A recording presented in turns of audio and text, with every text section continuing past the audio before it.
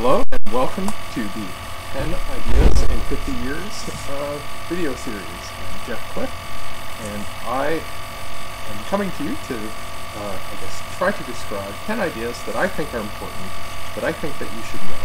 Uh, this is the third video of the series um, and hopefully there'll be a place to comment uh, any corrections, if there's any details that I get mistaken, or if there's anything that you're confused about or have any questions at all relating to the material, I'll try to answer them in the thread provided. Um, today's, I guess, idea, or paper that the idea comes from, is going to be uh, one games with incomplete information played uh, by Bayesian players. And that's by one John C. Harsanyi. And so, just to kind of review what, what these videos are about, uh, again, it's, it's not to give a full uh, course on game theory. It's not to give a really detailed uh, view of, about these ideas, including this one, and the, the ideas surrounding them, so much as to give a, a little bit of an understanding, so that if these came up in a conversation, you'd at least be somewhat familiar with them.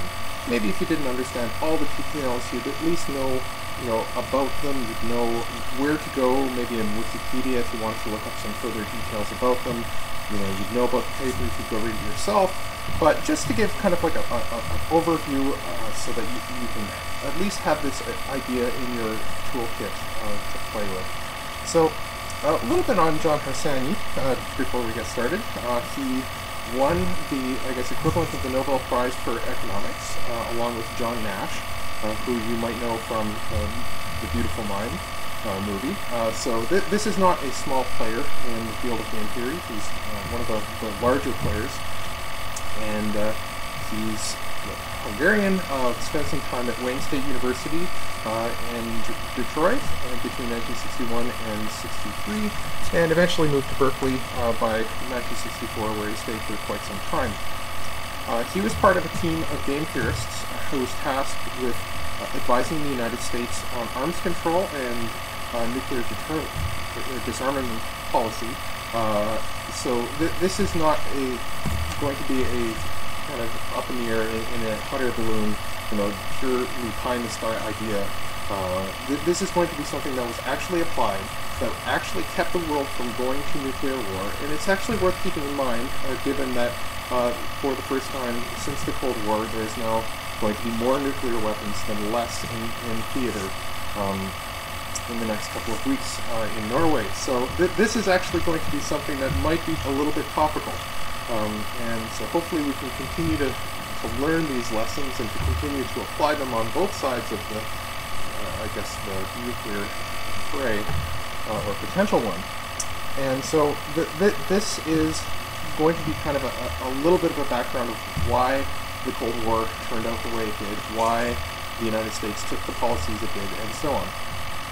So the, uh, I guess this paper in particular was received in 1965, uh, and it was re revised until 1967. So this is something that came a little bit further after the first two papers and the first two ideas. And in fact, it does actually build a little bit on them. Uh, so uh, it does cite the, the first, uh, I guess, paper or idea, and although it doesn't actually cite the second one, it kind of builds in the direction of the second one. So some of this will start to sound a little bit familiar. So kind of getting into the meat of it, uh, this is starting to get into uh, the first treatment of game theory by uh, Bayesian statistics. And so the, the idea was is that up until this point, uh, in the history of game theory. There, there were there was a lot of progress being made. Uh, there was progress being made uh, by John Nash, by von Neumann, and there was a lot of problems that were considered solved or at least tractable, but there were certain things that they were still having trouble in. And so one of the, the kind of core ideas here is that to take the, the troublesome spots in game theory and to apply the, the ideas from Bayesian statistics into them to, to, see if they can resolve some of the difficulties that they were having. Uh, this proved fruitful. Uh, so, just getting into it a little bit.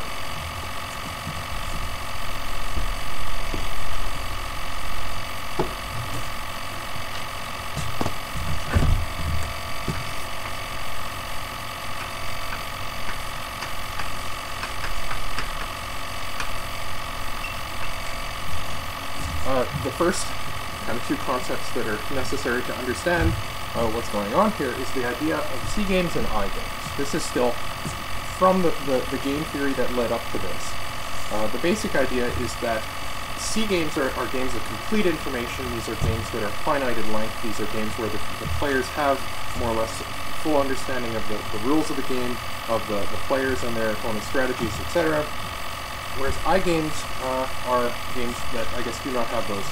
Uh, these are either uh, games that are, I guess, potentially boundless, uh, games that are uh, where the players do not necessarily know uh, things about each other and about the perhaps the rules as well. So up until this point, uh, the C games were seen as retractable uh, or, or, things that they, they knew a lot about. With I games, uh, there were they seemed to, there, there were paradoxes lurking in the background.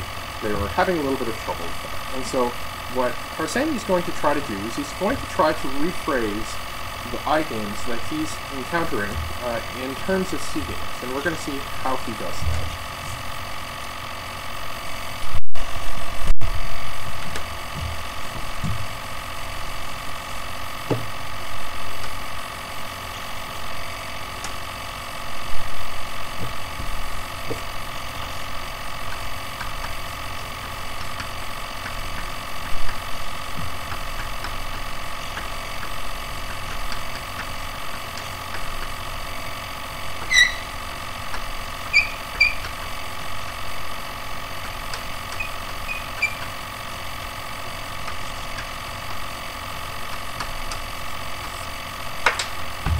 So, to kind of start off with, uh, there's going to be an assumption that uh, Harsanyi is going to be making here that's going to be crucial for a lot of the arguments that, is going, that are going to follow.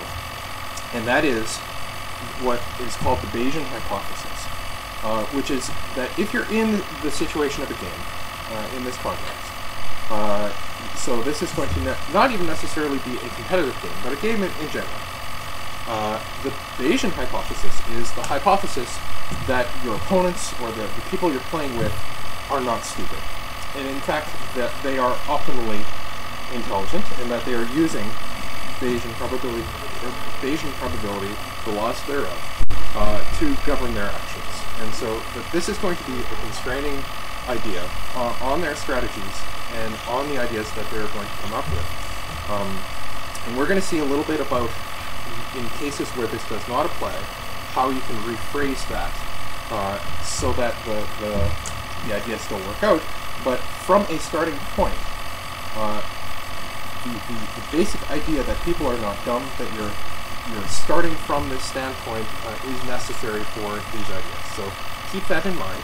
Uh, we are going to assume, for the purposes of this video, that other people are not stupid, and I know this is going to be kind of a hard thing for a lot of you to, to wrap your head around, especially the really bright of you. Um, you know, how, how, can you imagine a world where people aren't stupid? Well, you know, we're, we're gonna we're gonna try.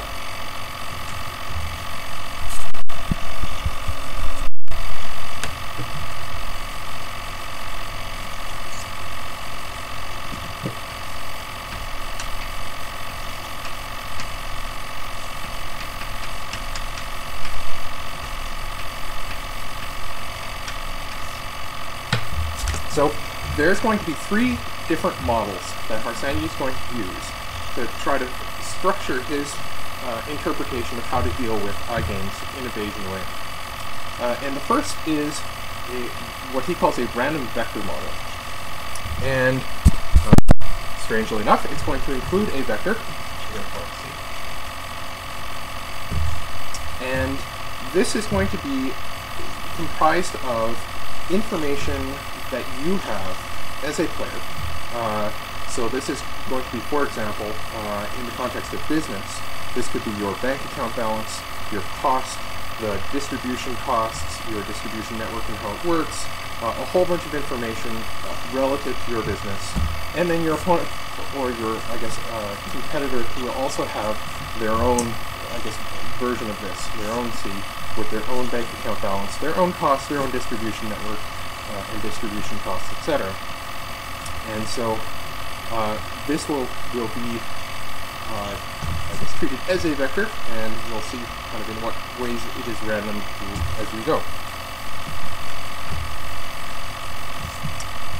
We also are going to have a game, uh, which we're going to call G, which we're going to want to basically solve uh, as a system, or as a set of equations, perhaps, uh, but we're going to see if we can define this game G a little bit formally.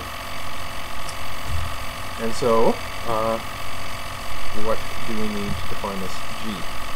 Well, one of the things we're going to need to define this G is a payoff function.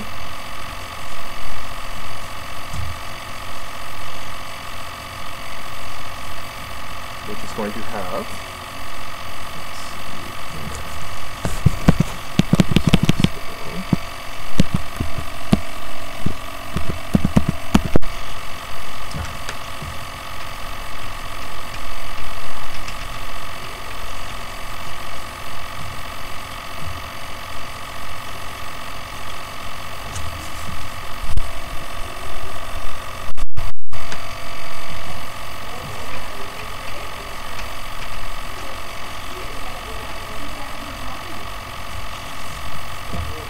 So this payoff function is going to be a function of two sets of things.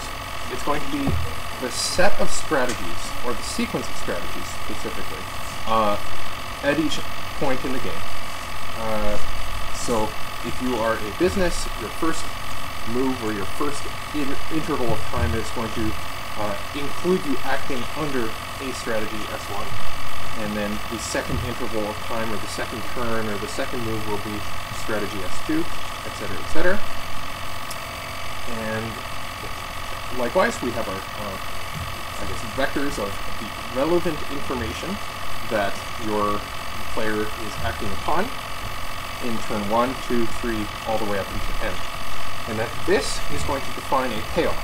So the sequence of strategies and information given those strategies uh, will, will give you a payoff. And so the game now is going to be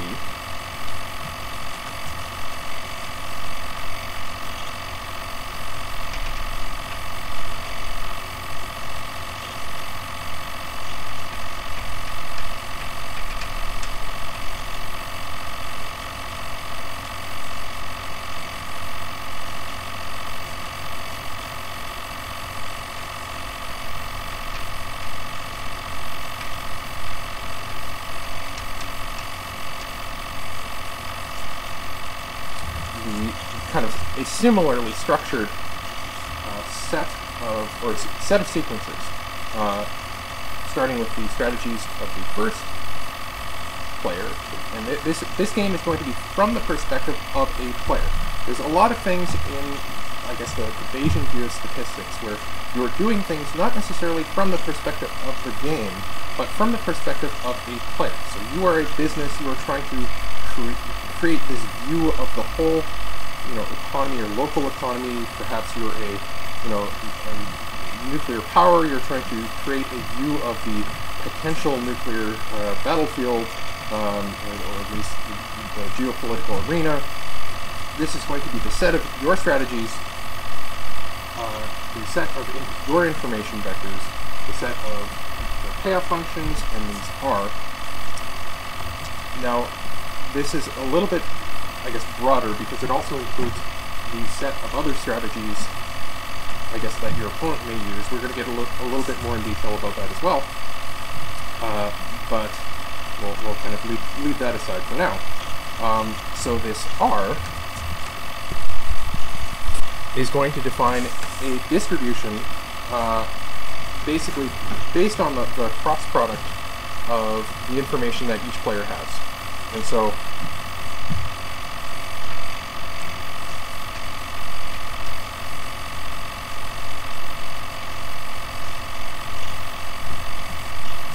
If A is the information that only your player has, and B is the information that only your opponent has, this, the combination thereof is going to create a distribution. And we've talked a little bit about distributions and kind of the implications in the first two videos, but again, the, the, the details of how this exactly works are not all that important. The important part is just to note that there is this kind of combination of the information that you can model about yourself, the information that you can model about your opponent, and that this creates kind of a distribution uh, upon which you can act at any given point in the game.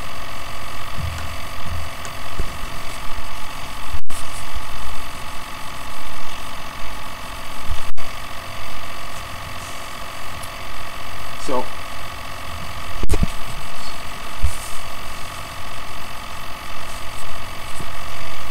to kind of summarize a little bit, so the game is going to be the combination of all possible strategies from each player at each move, the combination of all possible states of information available to, to each player at each move, the combination of expected values to the player for each strategy at each move, and the combination of information uh, available to each player.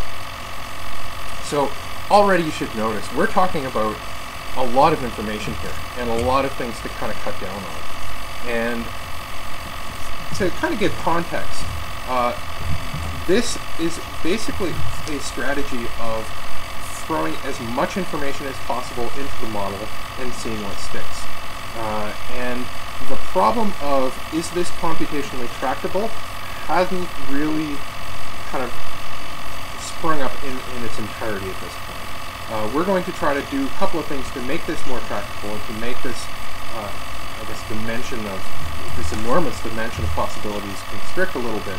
Uh, but the, the, the, the, fundamental idea is still going to be, uh, to a large extent, modeling every possible outcome and then kind of drilling down on to the, the desirable outcomes within that.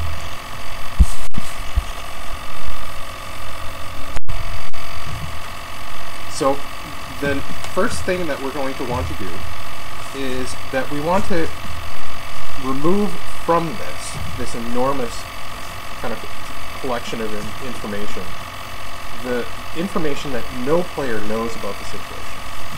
It is not all that useful to, for example, the United States, if neither the United States nor its opponent in the nuclear arms conflict uh, or potential arms conflict, Russia, knows about, for example, oh, I don't know, say the Israeli Mossad hacking into both nations' computers and computer networks and removing the abilities to fire nuclear weapons.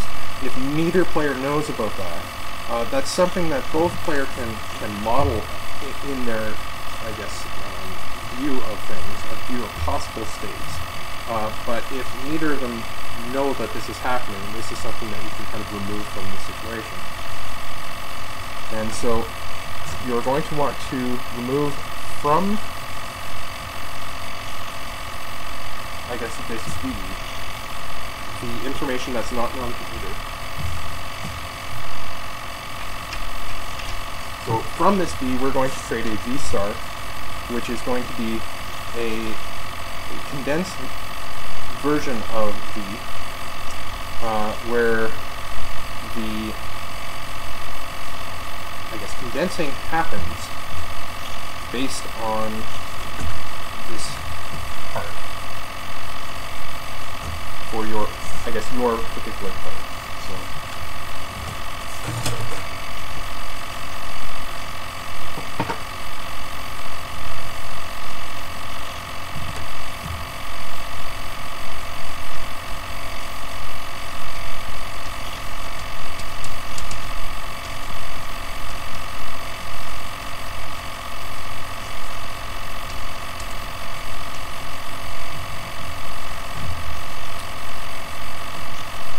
So th this kind of combination is an extremely high uh, dimension space, and it selects from that space a pair. So it's basically a function from all possibilities to a payoff, just as the previous one is, but it's done so in a specific way to really compress that, that dimensional space uh, down uh, to that payoff uh, in a perhaps a more specific way.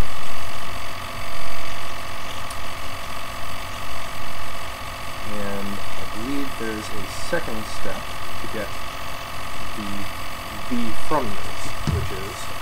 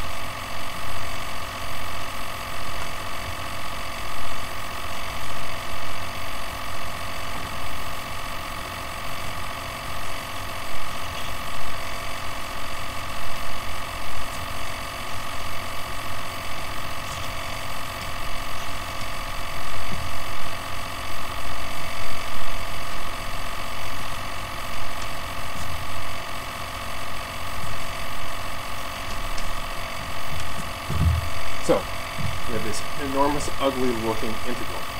Uh, and again, it's not necessarily not necessarily to, I guess, drill down and fully get where this is coming from, but we're going to try to explain it here. So, the the value of this game, so the, the payoff to the player, uh, fed in with the arguments of the strategies, this A0, and A0 is specifically the knowledge that is unknown to both players. So it's, it's, it's the, the knowledge that the first player knows that no player knows. If that isn't a little bit too recursive here. Uh, as well as the things that they do know, iterated over the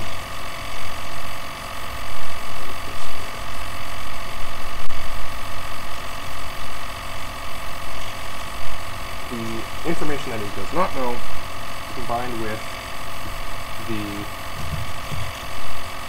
information that he knows along with the information accepting what his opponent knows as well as the information the opponent knows given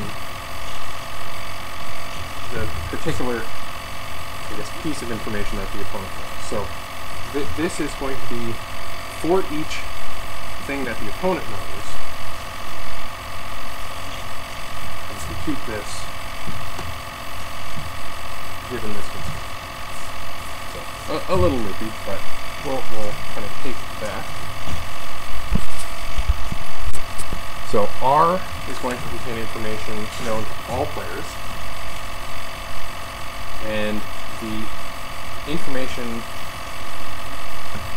I guess, given to us by this is going to be. Okay, so yeah, R, R is going to contain the information known to all players.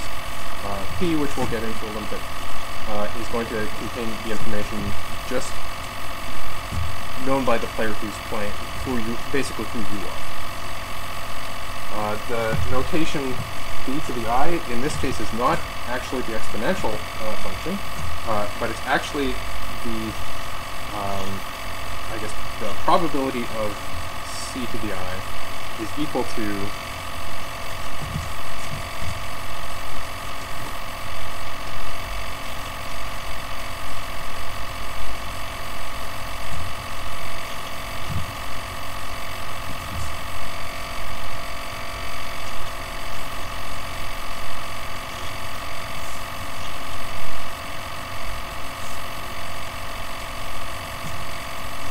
the probability of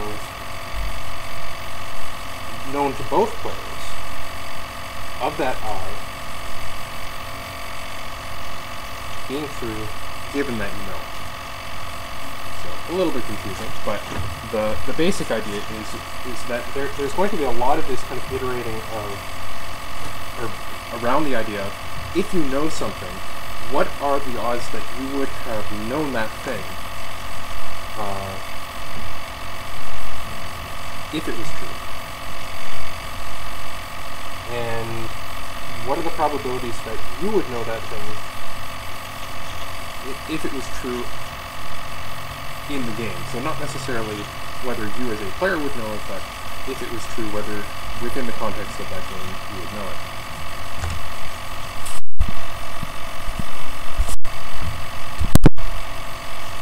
so hopefully we haven't lost completely everyone here, but so the, we've, we've, built this game G, which is this really uh, kind of maybe complicated you know, set of strategies and I guess vectors of information or collections of the relevant information.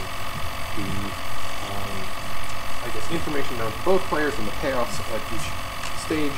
Now, this game G is for an, I, I guess for an I game or, or for uh, a game of incomplete information uh, is, is, going to be in, kind of intractable knowing what they know at that current point. So what Harsanyi is going to do is he's going to try to define another game, which is still a C game, but it's going to be defined in terms of the I game, and it's going to, we're going to basically try to create another game based on the original game, with the hopes that if we solve that game, that can kind of give us a little bit of uh, progress on the, the one we're having trouble on. And so instead of the players not knowing certain things, we replace the, the game where the components are, I, I guess, designed so that the each player knows all the information in the game. And if we can do that, then we, by definition, will have created a C game, or a game of complete information. And so, if we can do that, then we'll have made that progress. And so the approach he's going to take is it's a little bit out of the box Um, and to kind of give a, a context as for why are we are talking in terms of all the possible strategies. When he says all the possible all the possible strategies, in this context, he really means all the possible strategies. Uh, so if you're starting to play a game like chess, you're not really assuming from the beginning that, for example, your physical well-being your social context, your psychological facts about your you and your opponent are really all that relevant. You may be, you know, thinking in terms of deep blue, where you you know you just plot ahead long enough in the game, and you know you'll kind of make progress against this. But what he's saying here is that if we take a bit of a step back and we start to, to probe into what game are we actually playing and is there perhaps a super game or, or some kind of a different way of looking at the game that provides us with a context through which each player can have all the information about the game? Perhaps that would lead us to a C game, which is at that point tractable. So how do you get there? Uh, so the set of strategies here ceases to become kind of a limited uh, set of strategies from one player's perspective, but the set of possible strategies shared by all players. So, for example, if you are in you know the, the, the context of the Second World War, you will want to look at the Maginot Line, if I'm pronouncing that correctly, uh, in, in terms of you know, the, the Germans, if they are going to attack France, have to either go around it, over it, under it, through it, etc. Uh, and then each of these possible strategies will get a probability associated with them. And some of these probabilities will be extremely low. However, it is important in this context to enumerate all of them so that we can get to the C game if we can get there.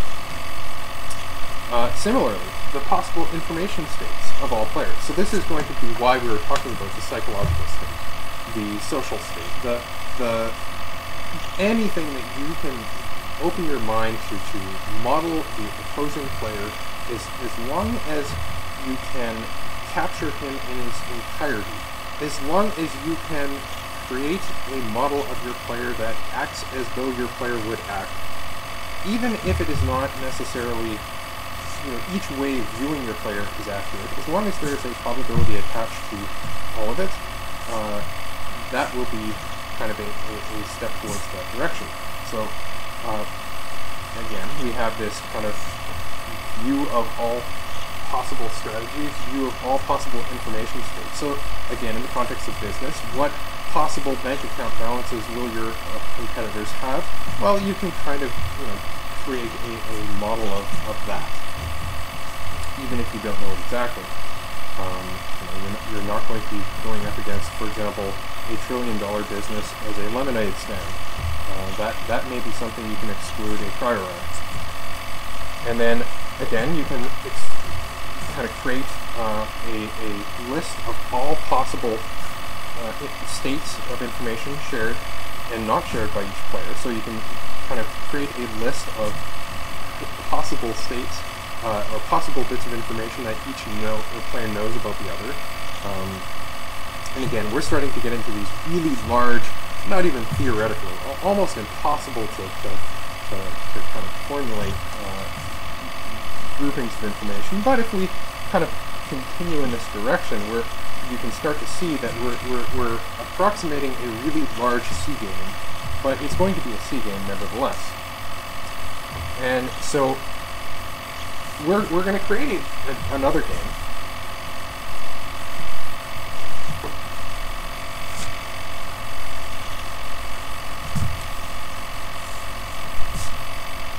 And the, the core idea here is that it's going to have the same payoff functions. I'm going to call this game G star. It's going to have the same payoff functions. It's going to have the same set of possible states.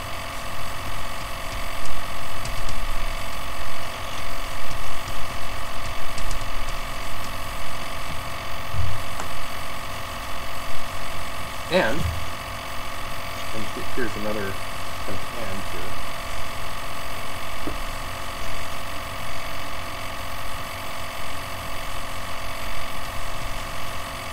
each player is going to get a random, or what, from the context of this game, a random vector assigned to it. And that random vector is going to be, uh, I guess, defined to be the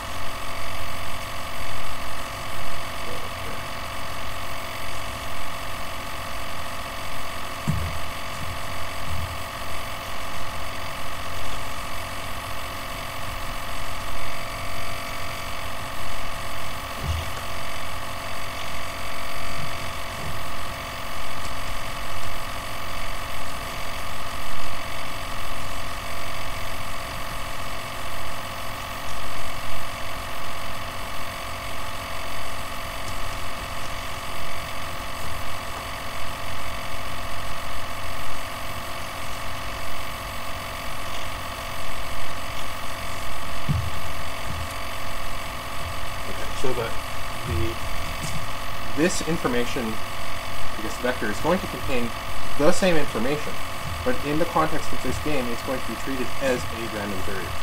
So we're, we're basically going to be choosing a random possible state for the context of this.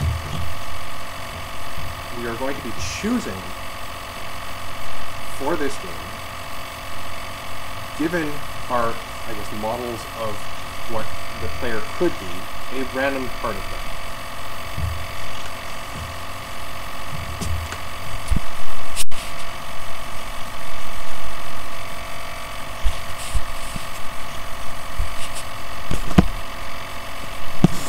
And we're going to add a constraint to that where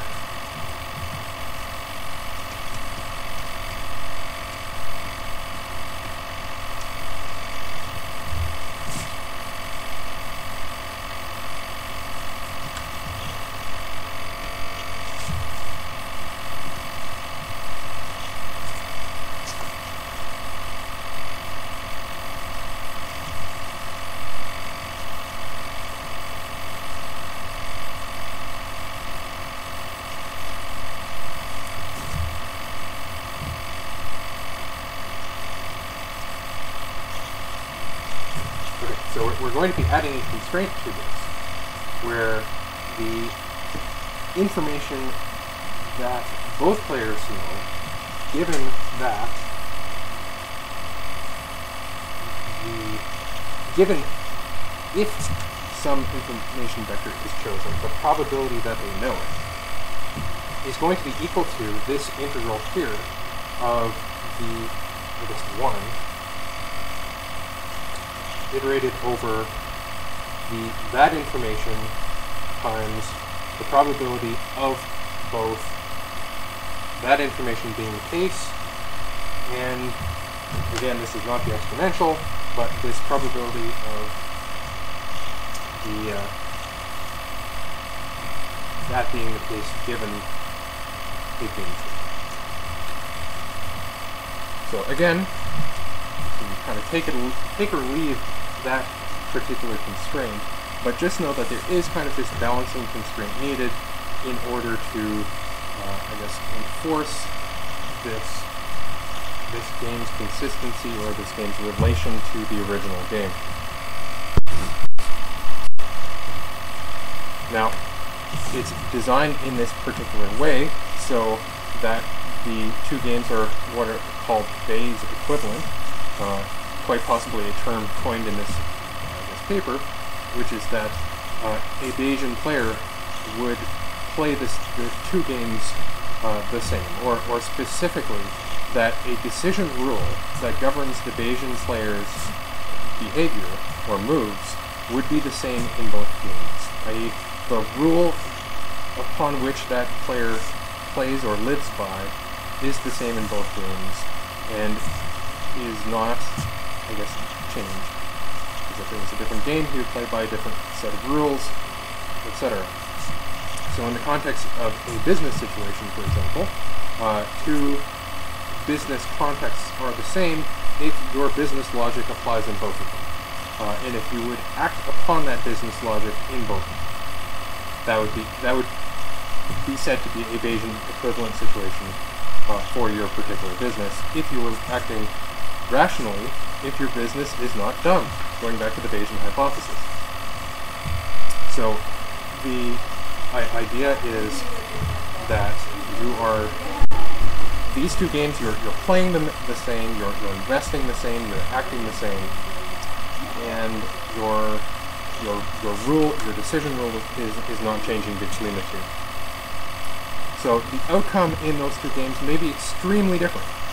In one game you may win, in one game you may lose, in one game you may, you know, succeed, in one game you may, you know, get nuked and, and lose everything. However, the important thing is how you play, and the important principle is for you to play optimally and for you to play as smart as possible at this kind of Bayesian level of optimum rationality. And so, if these two games are Bayesian equivalent, i.e. this original game, which is a game of incomplete information where you do not know the, the principles that your opponent is operating on, for example, and this kind of broader, albeit complete game, where you at least have a probability defined for your opponent's actions, uh, and a random vector selected based on that probability. At least you can play that. You, you basically can play a perfect game in that particular game. In, in this G-star, you can actually play a perfect game. You, you can do all the moves optimally. You can you can solve this game for what you would do in that game. And because this focuses on the rule between these two games, different players are going to have different decision rules. It kind of makes sense that what would be a Bayesian equivalent for one particular player may not be a Bayesian equivalent game for another particular player. So you almost never know what game you're playing like, with your opponent. Your opponent may be playing kind of a, an entirely different game because you, as an opponent, create that entirely different game for for that particular opponent to, to play up against. your psychological makeup, your, you know, whether or not you're having a good day, whether or not you're having a bad day. Each of these basically creates a new type of game that your opponent is playing, and you are not necessarily. Another thing to note about these G-Star games is that, uh, I guess C games uh, have what's called perfect recall. I, you can remember all the moves going back to the beginning of the game. This may not be true with I games. With I games, you may be constrained. You, I don't know if they specifically had come up with the idea of bounded rationality at that point, but at, at the very least, the, the, models of the games they had uh, for I games included games where you could not remember going back a certain number of moves. Perhaps, you know, the, game, the card game Mamma Mia, uh, that's a, a, good example of a game where it's, it's really hard to remember after a few plays what exactly happened. Uh, in I games, you're going to get lost. In, in these C games, the assumption is is that there is perfect recall, so you can come up with uh, what are called Bayesian strategies and mixed strategies, and that the two will be equal. Uh, if you may remember from the previous video talking about that.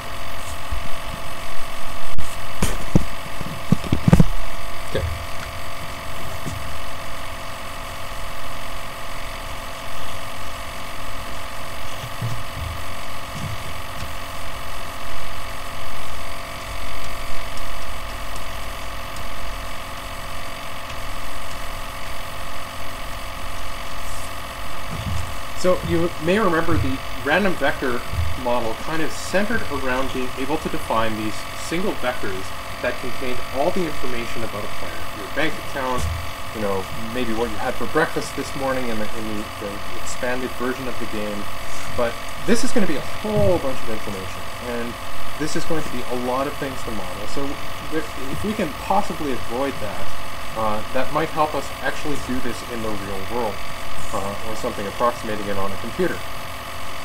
Uh, one step towards that is what's called the prior lottery model.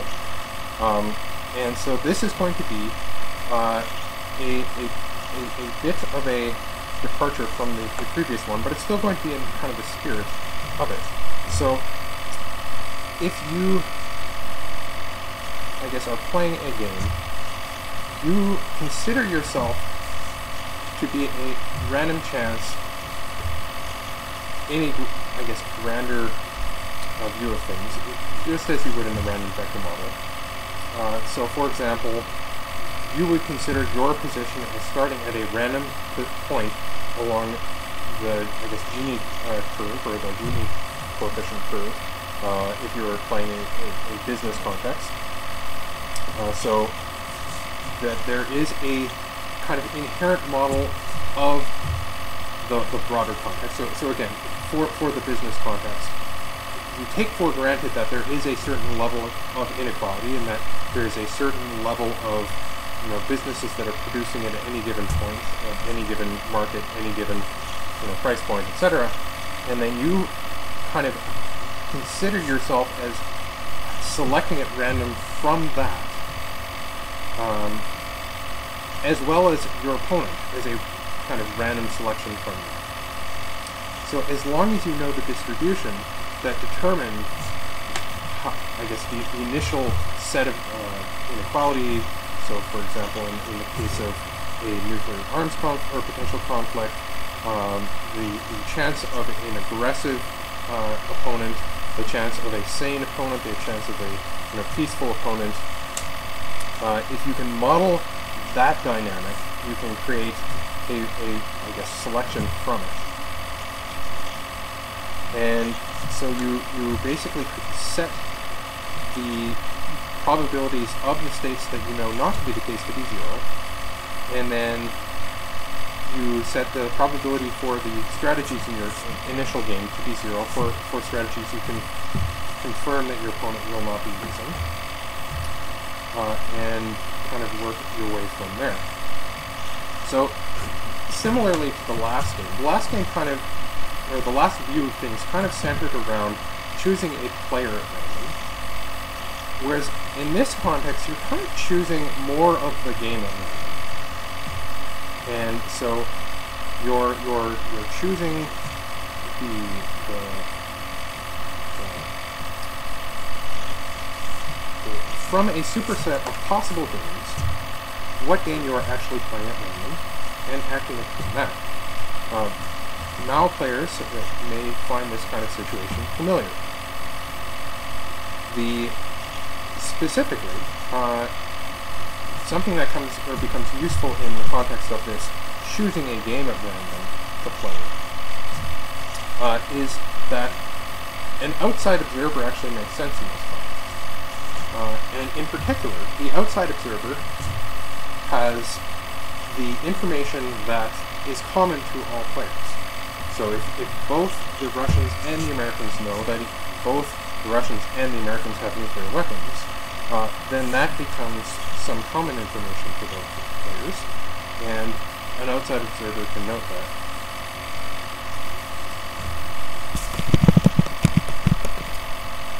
And it turns out that you can actually model uh, a distribution of initial values for each player's and the marginal distribution of probability based on common knowledge and kind of work towards the knowledge that a player has based on that common, starting from the priors of that common knowledge.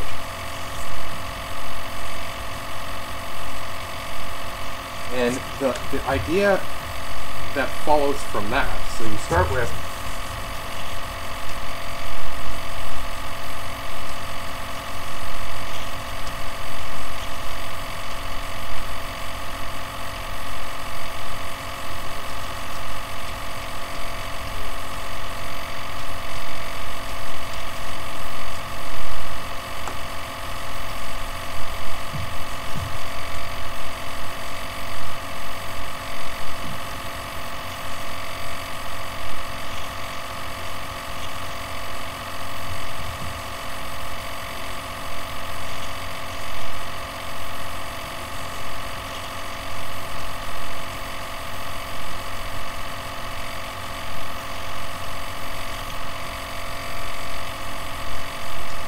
start with the common knowledge. You then work from the common knowledge to your strategy. And then you assume that your opponent is doing the same. And then you resolve, I guess, what, happens at that point. Now, note that this does not, this part doesn't seem to make sense.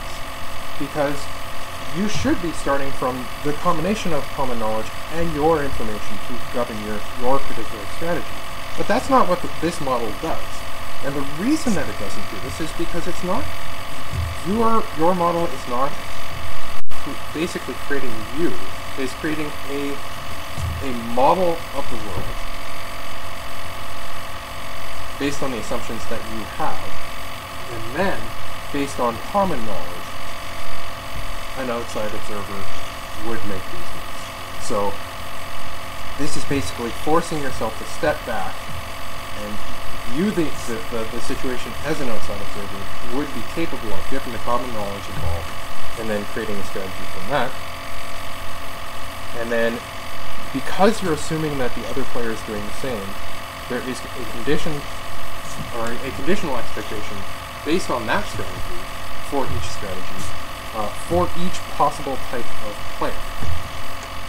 And so you're, you're basically starting with, in a random game, creating this strategy for a random player, and then kind of creating a maximum uh, strategy based on that.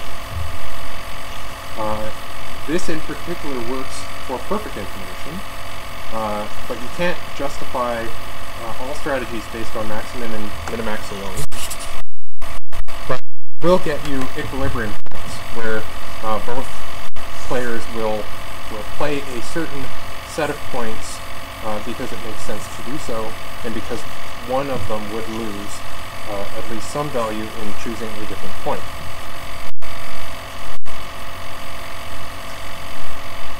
So, continuing from here, so we have a, I guess, a, a what's called a normalizing strategy, where the you start with a, a sequence of K strategies.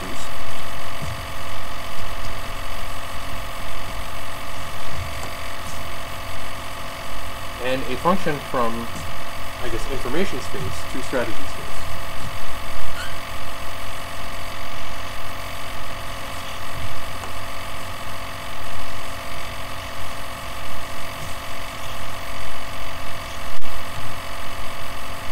And so, if you use these normalized strategies instead of your strategies, that kind of uh, tightens the loop a, little bit in terms of what you're you're, you're doing uh, in the big picture, because this is where your information of your player comes into effect.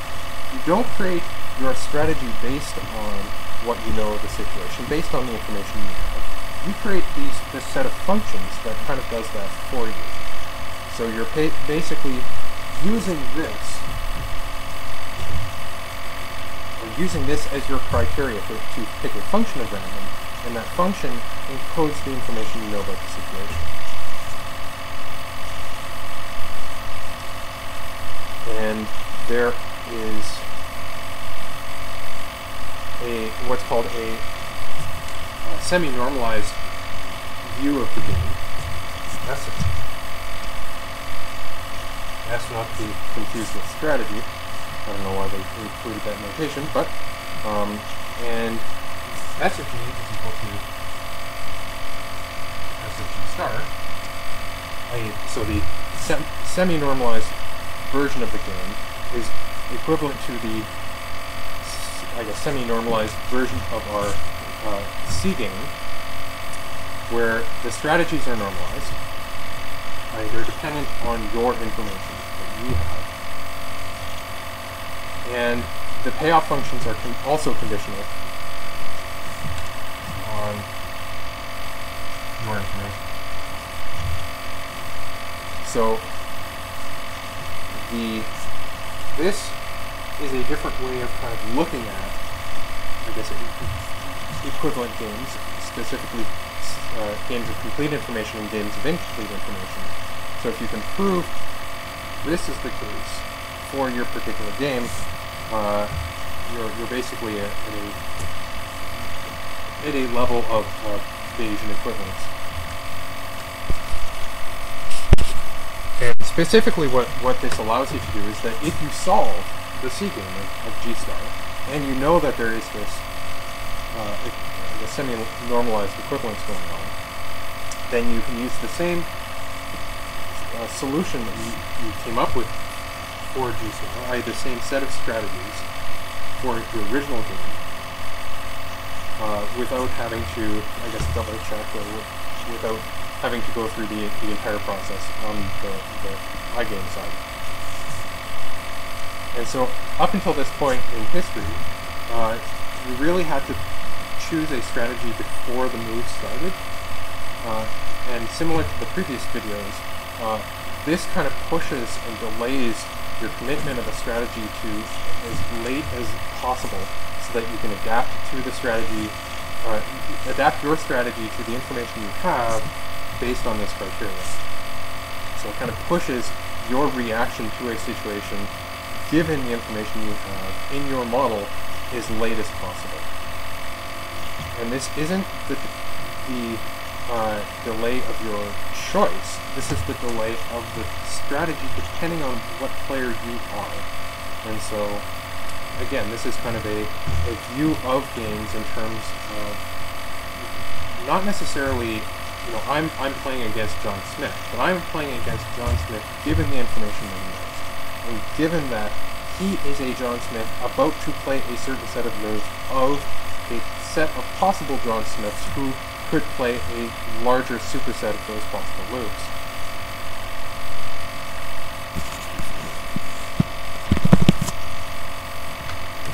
This principle apparently uh, replaces a stronger uh, normalization principle called von Neumann's and Morgenstern's norm normalization principle. Uh, again, that's just kind of a side note. Now, what uh, uh, under what conditions do we, do we assume that these these two things, this you know admissibility uh, of these two games, uh, at what point does it make sense to act in this way? And so we're going to split the possibilities.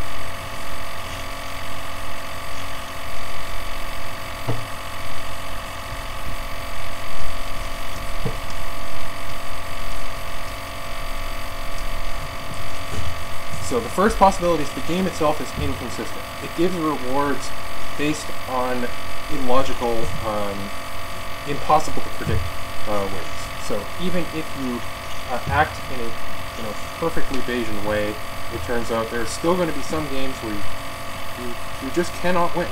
Entropy, you could probably view in this context, where you, you just can't win. You, you play a game against entropy, you lose. Uh, you you play a game with multiple players where the payoffs uh, are not consistent. There is no perfect strategy. There is no Bayesian strategy you can play. The best strategy you can play is the Bayesian one, but you still do not win with it.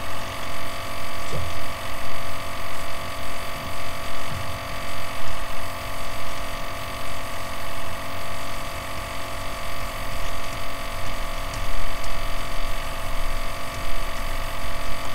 Then there are going to be decomposable games. So there are going to be games where you're able to split apart the game into two subgames and then solve each game independently, which the games may be decomposable or not.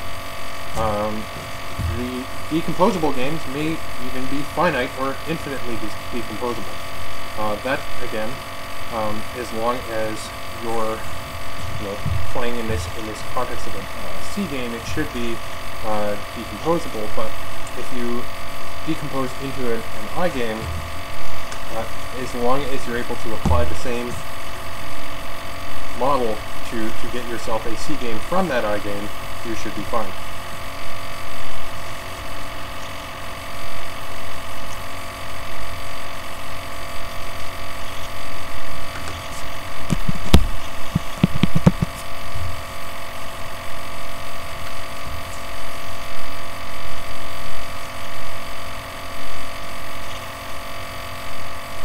Each third one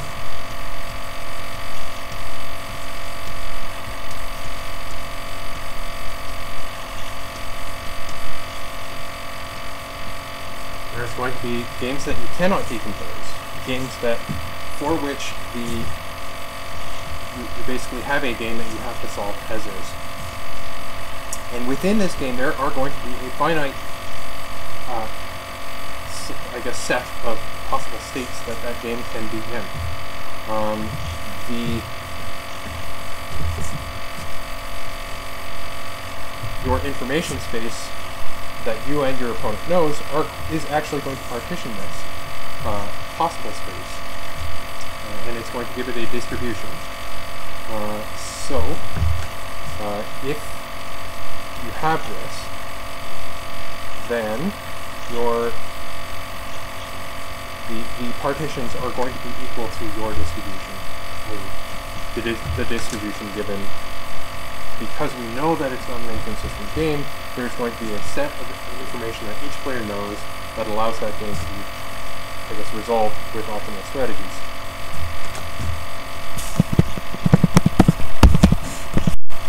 So, the kind of drilling down, what do each of these mean? It's that the Bayesian strategy does not actually give us anything, but there's nothing we can do about it anyway. That the Bayesian strategy only applies if we can de decompose the game, so basically the first step, and then the step where uh, we basically assume that we have the right strategy, we use the right strategy to split up, or to, to make use of the, the split up game in terms of the information that we know about the space the information that we know about the game. So there's another kind of assumption that is a highly likely prior, although not necessary, which is that you assume to begin with that you do not have an inconsistent game. That whenever you're presented with a game, unless you have evidence otherwise, uh, the likelihood that a game is inconsistent especially for the kinds of things you would model game theory about, um, tend to be statistically improbable. And so if you assume that they are not inconsistent, you can kind of jump right away into decomposing it. Kind of a shortcut. Might be cheating, but uh, statistically it, it should work. It is reasonable to assume. So this is going to basically tell us uh, that a any particular I game that we play is actually a C game that's a result of a random social process that selects n players uh, from the possible set of players who could play. So where we basically define players to be um, the, the person you're playing with with that particular piece of information that they actually have. And that, in particular, that they will be selected as a function of your information.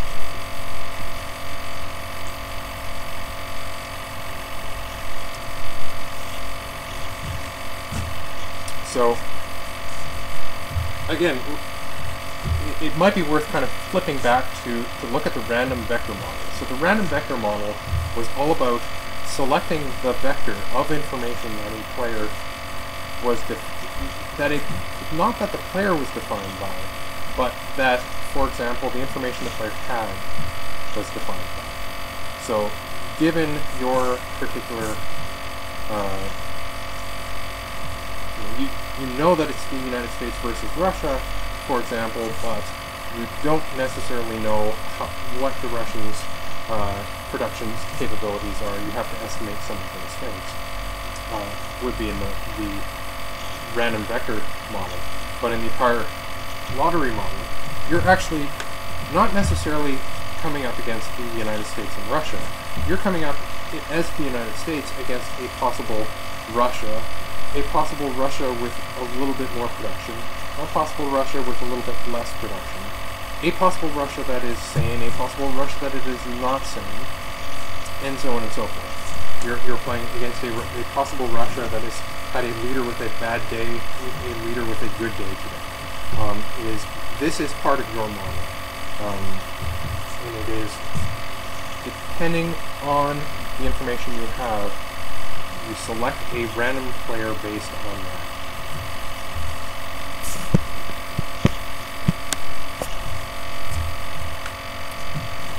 Now, given this view of the game, uh, if you can only see part of the game, that is evidence that your opponents can also see only part of the game.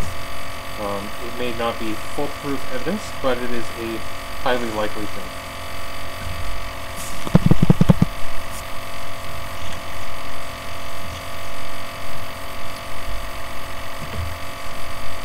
In addition, you can come up with some, I guess, stars.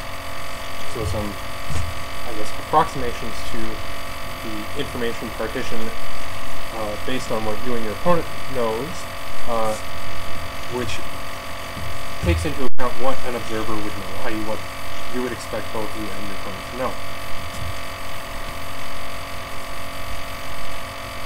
Uh, and in particular, if you do come up with this R star, and you know that there is in internal inconsistency in this model, uh, then that, going back to the inconsistent games, you know, at what point do you start to believe that your game is inconsistent? Well, it is at that point. It is when you notice that there is inconsistent information given what you and what you would expect your opponent to know um, based on random selections of you and your opponent, uh, then that's evidence that the game itself is inconsistent.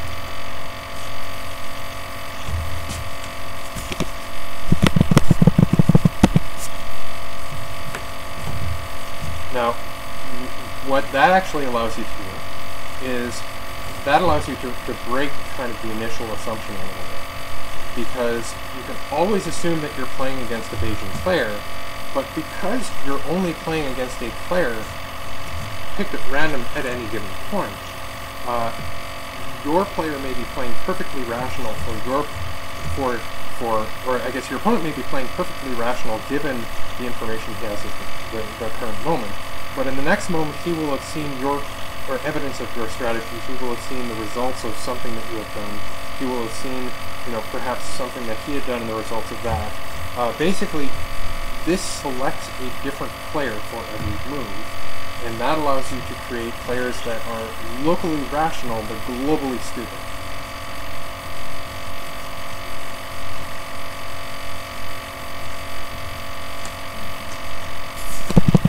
And you can kind of view that as a, a game where you're, you're basically playing, if you imagine something like chess, where you're playing against one person who then makes a move the smartest move he knows how to make, and then walks away. He doesn't communicate his information to other players.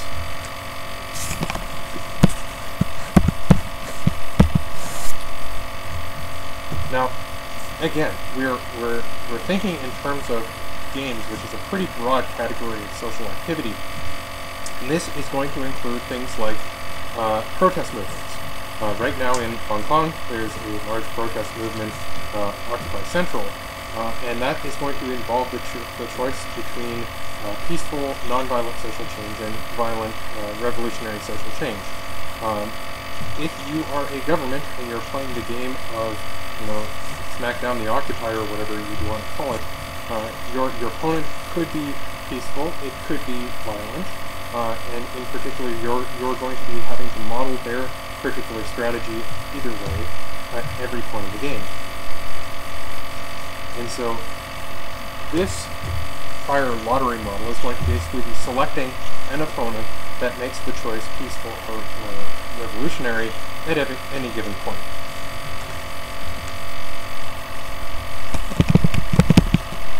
And it's going to be doing that based on the possible histories given and constrained by what you know about that movement.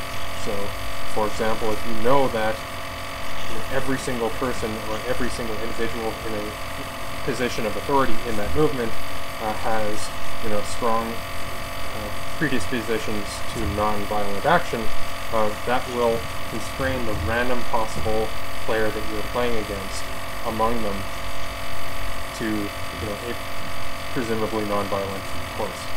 Uh, but in situations like uh, social movements, there, there's going to be a degree of chance and a degree of who gets in charge, and you're, you're basically, it, it's going to model very closely this idea of selecting a player randomly.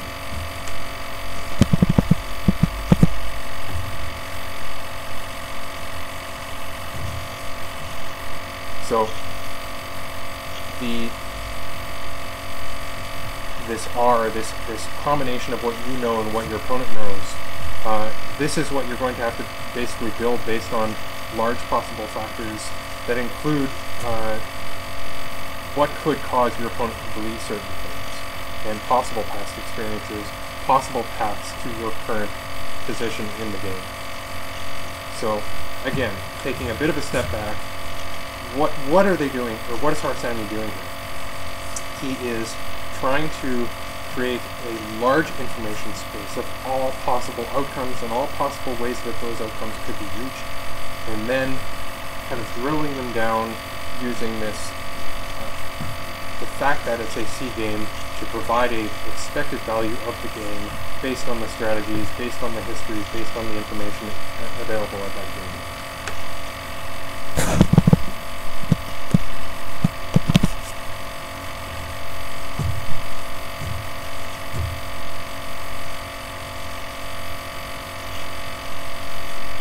Now, if, or even if you can, you can take into account, uh, or, or, or if you can't take into account the full uh, opponent, if you are, you know, coming into problems where you can't trace all of their possible histories, uh, even if the game is inconsistent, um, or, or for or rather, e even if it seems that the game is inconsistent, it's still likely that the game is consistent. And if you were to take into account all the possible information, i.e., so if, if the game looks incons inconsistent and you notice that you have a, a, whole bunch of lacking information about your opponent player, uh, then one thing that that allows you to do uh, is it, it allows you to, to kind of fudge that player to allow consistency. Uh, it is assumed in this paper that when you get to the point of previous life history, I, at the most general possible level, that things are actually consistent.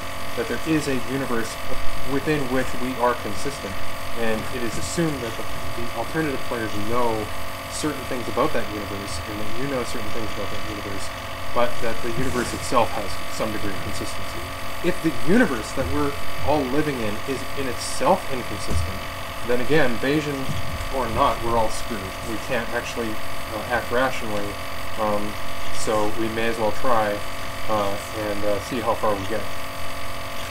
And so, uh, again, we're, we're, we're, kind of jumping around a little bit, but uh, this, this kind of splits games into uh, classes where there's a, I, I guess, outcome that you can reach, um, or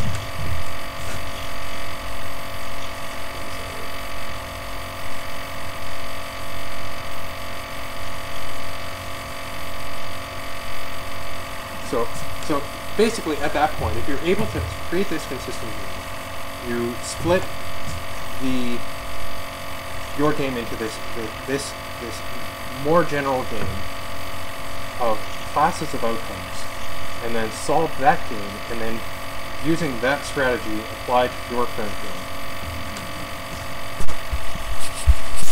Now there's a third model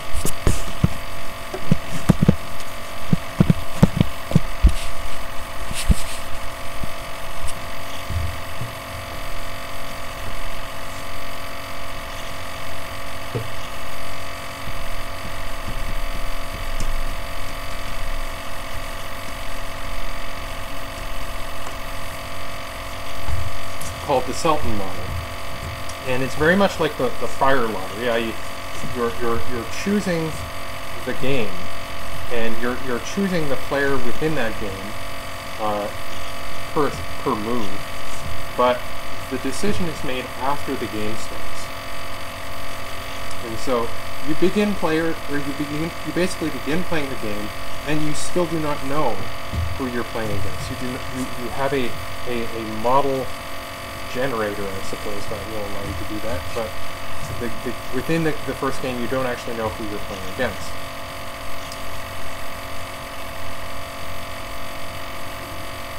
And how this is going to work is that you're basically going to be playing, instead of against one player, against K players.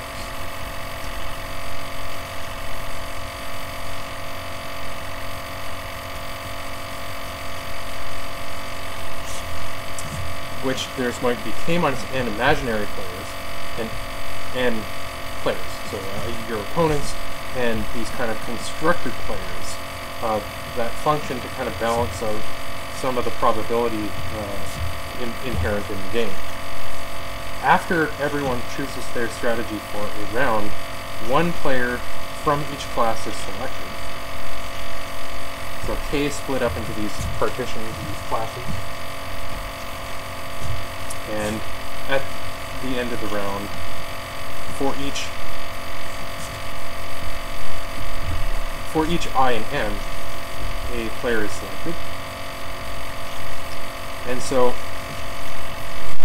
within the random uh, vector model, you don't need these imaginary players. And within the, the prior lottery model, you don't need these imaginary players. But it does turn out that when you include these imaginary players, the the I guess grouping of the game into a consistent game or in, into a game of complete information becomes much easier. Um, so if, if, you and it's kind of easy to imagine that you know if, if you imagine a whole bunch of players with more information about the game, you can make the game you know such that all the all the players together have the whole of the information of the game uh, and can interact such that their strategies kind of tell each other that much quicker. So, in, in, a little bit of summary, uh, this these three models don't work very well when you can't model the context in which the game is being played. It's going to work somewhat well for games like Global Nuclear War, where there are maybe two, ten, I don't know when Alabama gets the bomb, but whatever the amount of players you have with the bomb. Uh, and you're, you're basically modeling the choice of nuclear war and conventional attacks. Uh, notably because after a couple of thousand years of warfare, uh, not a whole lot is changing very quickly. Yes, we're getting flying robots. Yes, we're getting you know little things here and there, but uh, in general, you can you can kind of see what's coming into the future, uh, coming a little ways away.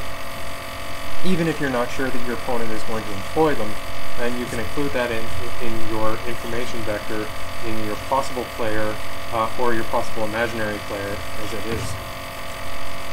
And so you can kind of get a general feel for what the strategies that are going to be coming down the line could be, even if you don't know the specific probability of them.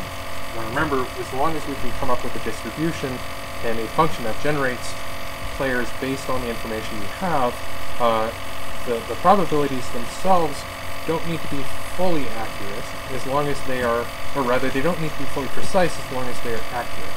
Um, the more accurate, of course, the better. But the important thing is not necessarily to get, in this context, is not necessarily to get the probabilities right. Uh, the important thing is to act appropriately given the probabilities that you know. If you're in a game, the goal is to act rationally. The goal is to use the same decision, or to come up with the optimal decision rule.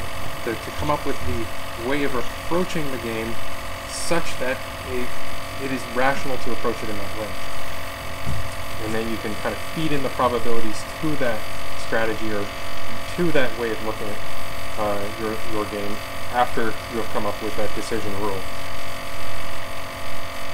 And so if your game is something like war, where again the, the, the, the game of war is not changing all that rapidly, uh, this may be appropriate, but in other situations, uh, for example in high technology where all sorts of disrupting things happen all the time, and is very difficult to formulate a game which takes these dis massive disruptions into account and paradigm changes into account.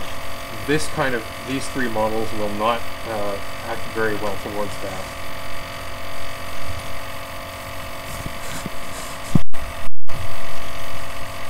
Now, kind of as an aside, uh, on the Bayesian hypothesis, if your opponent isn't perfectly rational, uh, you can use what's called a Dutch book attack on them. And so you can exploit their irrationality and gain an advantage in the game. Now, you have to conclude at some point that your opponent is not rational and depart from your own rational view of things. Uh, so, the, you know, how to do that, you know, you, you may want to look up and, and figure out on your own. But the, the basic idea is that if you start with the assumption that they are rational, these three models should work. Uh, and so you apply those three in those cases, and then I guess in, the event that you can you can prove that your opponent isn't rational, you can depart from those three models. And so in general, if you can use the information about what kind of a player you are to determine the probability of you being in that game as, I guess, you with those characteristics. Uh, and your opponent doesn't do this, again, you can you have a, a, a bit of an advantage, and you can have a more accurate model of the game given that. So, kind of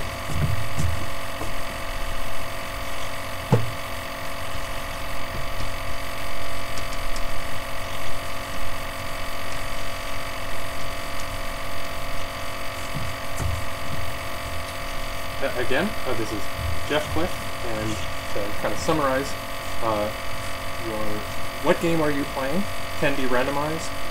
The player who you are and who your opponents are can be randomized in your model, so that based on what you know about them and the game itself, uh, you can view that as something that changes and is selected.